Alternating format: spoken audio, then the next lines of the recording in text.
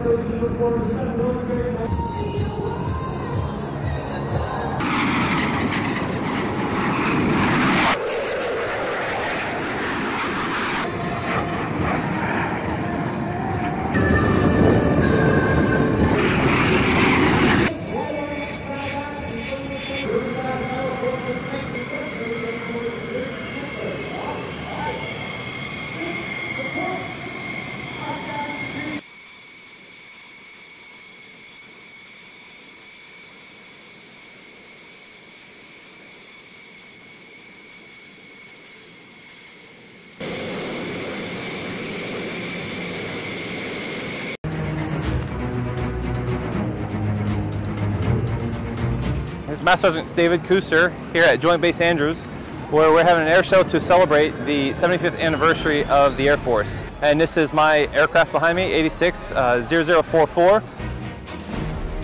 We've got a tent over here, we've got the jet behind us. Uh, we'll get kids all day long, they're going to come up and we, we want to talk to them, right? They're the future of the Air Force, they're the future of our military and our national security.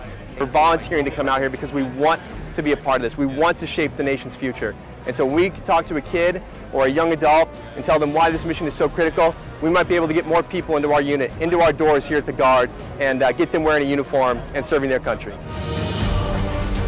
So today we're out here, um, we set up a tent just to kind of meet some individuals. Hopefully we can get a few applicants around here. So that's what we're hoping to do is get some recruits to join the Air National Guard. It's very important for us to engage with the public because they want to know who, who we are. They want to know who the DC Air National Guard is and we, that we are those faces.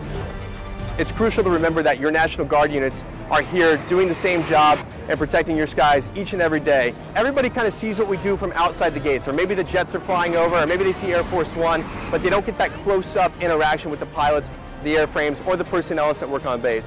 So when we get a chance, like this weekend at the air show, to bring you on base and show you the mission, it uh, makes all the more reason that you come out and you support what we do because you get a hands-on feel and an idea of what your tax dollars are going towards and also why this is all so important here at Joint Base Andrews each and every day of the year.